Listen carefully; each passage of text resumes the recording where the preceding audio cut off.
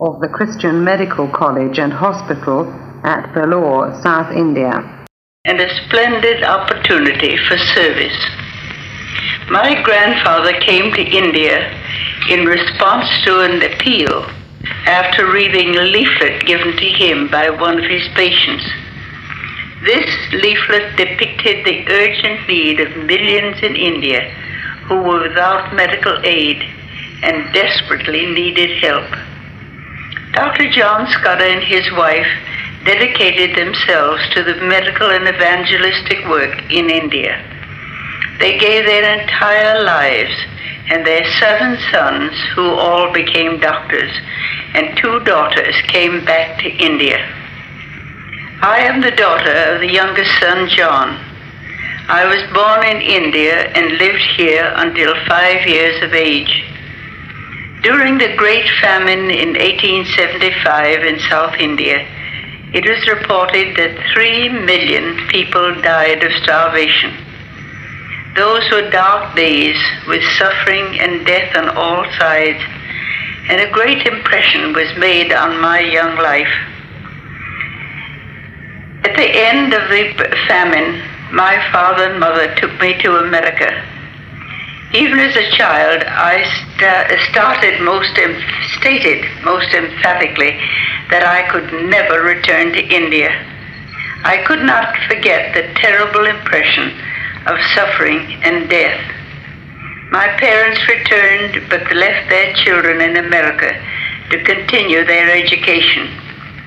Some years later, my mother was taken ill, and father wrote asking me to return to India and be with them for a time. When I was preparing to return, my many friends said, We thought you were never going back to India. I said, My mother is ill and needs me, and when she is better, I will come home.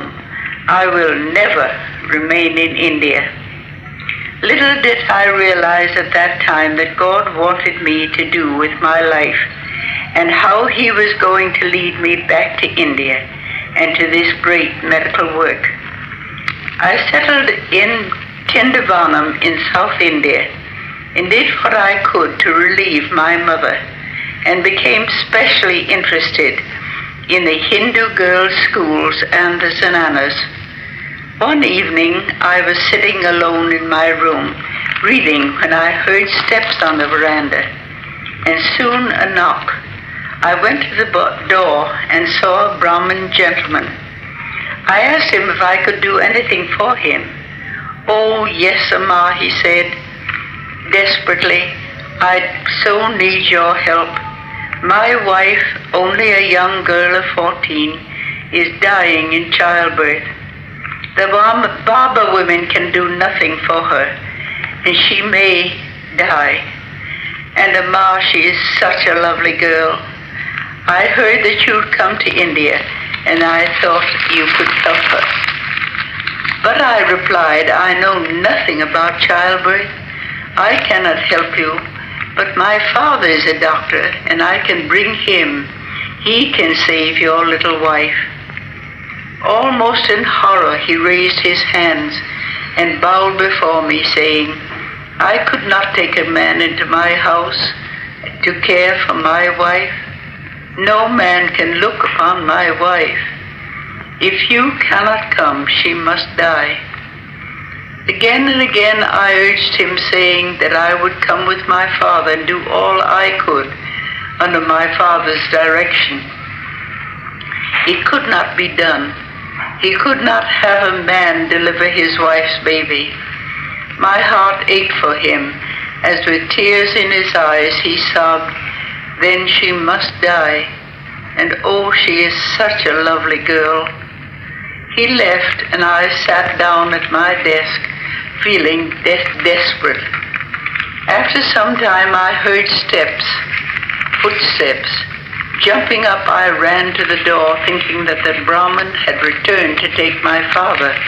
Instead, there stood a Mohammedan, and with the same request, he too turned away, repeating the same words, Oh, she must die. I felt I could not bear it. And again I heard footsteps in the same evening. Similar requests came from a third man. I hurried to my father and mother, and they were as sad as I. There was no sleep for me that night. I could not forget those three young women dying in childbirth when I could not help them. By morning, my decision was made. I could go to America, study medicine, and return to India as a doctor to try to save the lives of those who needed me. After graduating from Cornell University, New York, I arrived in Vellore on the 1st of January 1900, ready to take up work as a doctor. What marvelous changes I have seen. In 1900, Vellore was a small town of about 30,000 people. There were no dispensaries, no hospitals. Today, Vellore is a city of over 146,000. Today, we find a large government hospital, two mission hospitals, as well as a medical college affiliated with the University of Madras where many young men and women are being trained to serve India as MBBS doctors. Medical help is being attended to, extended to the surrounding villages. In 1900, none of the, of the villages were reached.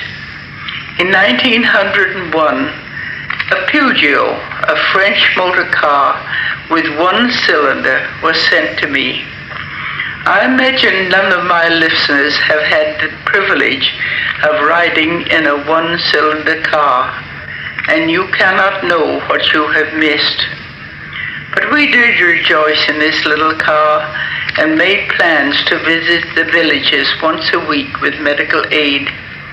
The first day when we started out with our rather noisy Peugeot, the people on that country road who had never seen a motor car, seeing and hearing us coming, rushed off into the field shouting, Oh, the devil is coming. We stopped the car and persuaded them to come and see. When they came, we found that nearly everyone in that group needed medical aid. Since that time, patients have come in from far distant villages with their sick and suffering ones. Now they love those life-saving ambulances and cars. The little one-cylinder car has long ago been replaced by ambulances with doctors and nurses and evangelists bringing help and life to many. At times on those roadsides, over a thousand patients have been treated during a day. Many very needy ones have been brought to the hospital, which has 600 beds, and cared for there.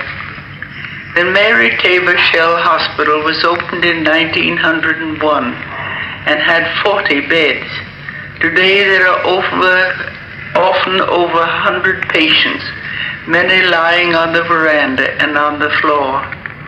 At times, as many as a hundred cataract operations have been done there in one day. Our present staff of doctors and nurses and other workers are an inspiration to all. We thank God for the way in which He has led us in the past, and we look forward to an even greater future.